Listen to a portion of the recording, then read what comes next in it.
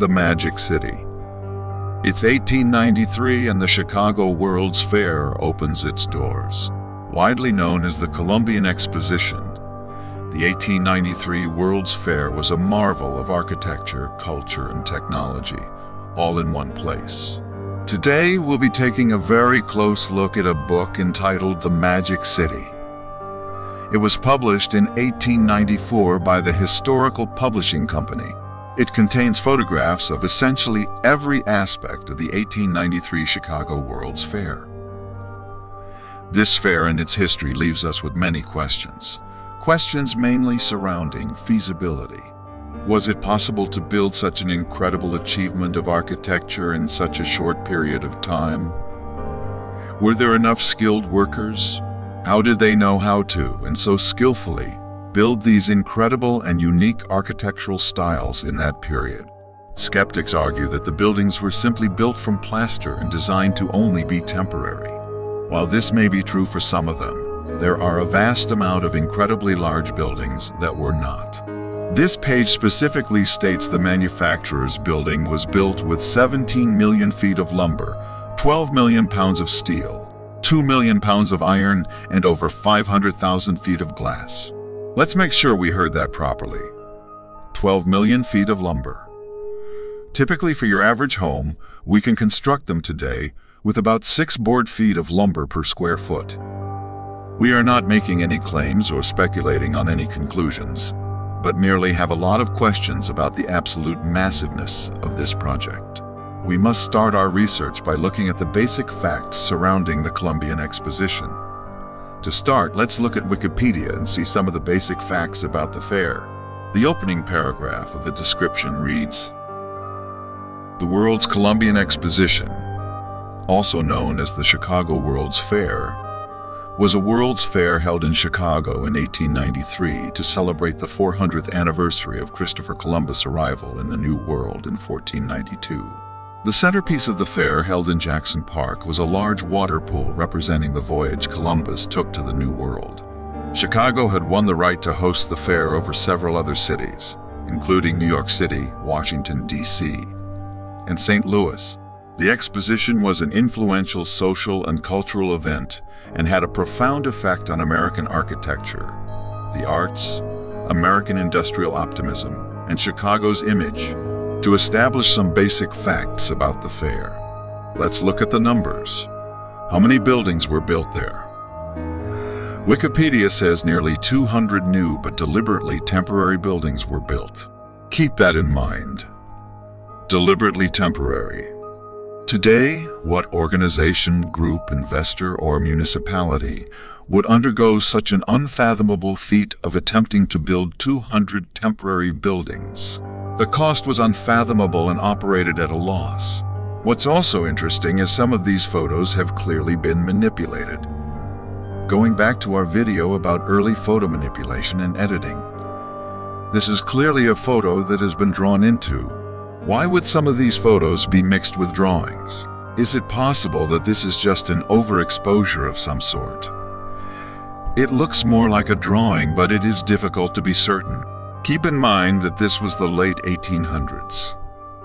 This wasn't the Renaissance. There wasn't an abundance of skilled artisans walking around that were not only skilled craftsmen, but also artists themselves. To successfully manage a large group of unskilled workers to complete such incredible detail in architecture would be a feat in itself, especially without any prior training Let's take a look at the planning and organization section. Reading through the entire section, it seems to omit a couple pieces of pertinent information. First, how long did it take to build? It doesn't say. Next, who built all these buildings? It also doesn't mention the number of workers and types of artisans and skilled trades required to build these structures. It mentions the architects, the planning and the financial dealings, but nothing about the actual construction of the fair. In order to find some more facts about the fair, such as how long it took to build and how many people, we must look elsewhere.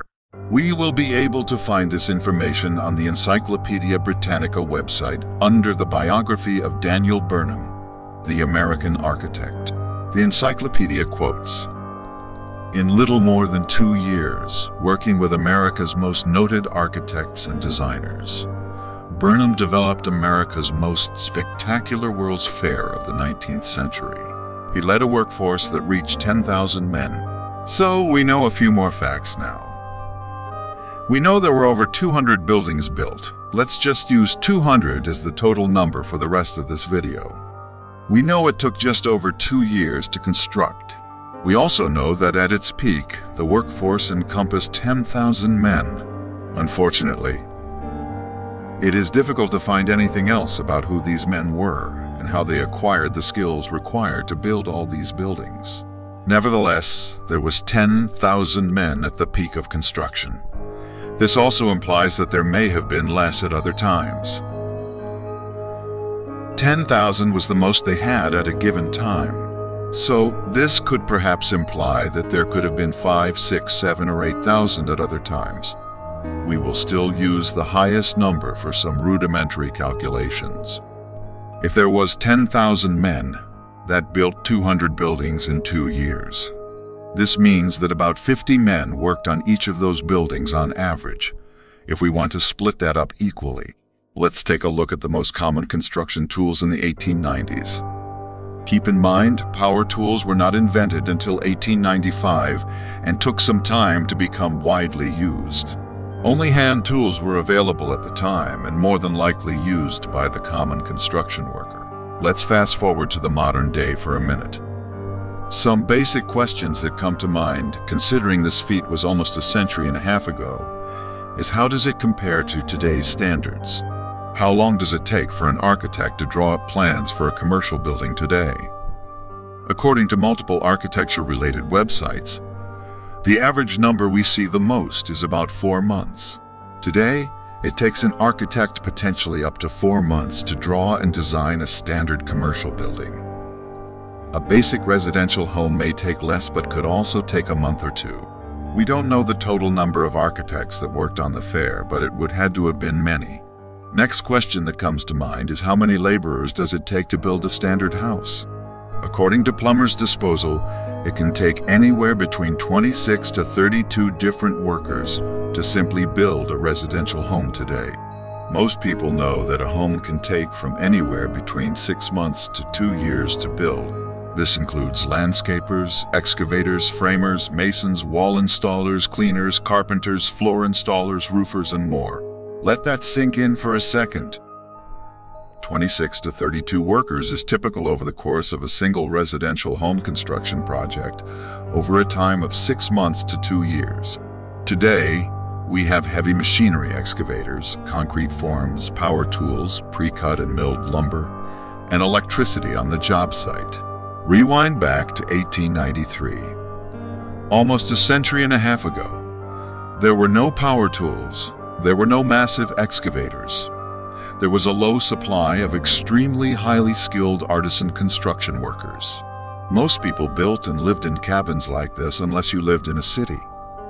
Life was short, difficult, and construction was basic at best. Literally a roof over your head to survive each season as they come. Meanwhile, at the World's Fair, some 10,000 odd construction workers built some of the most marvelous and intricate architecture ever seen. How this marvelous feat of architecture was accomplished is nothing short of a miracle. Is there more to the story that we don't know? Was there other tools and technology in use that we may not know of? One thing we know for sure is it was a marvelous accomplishment one way or another.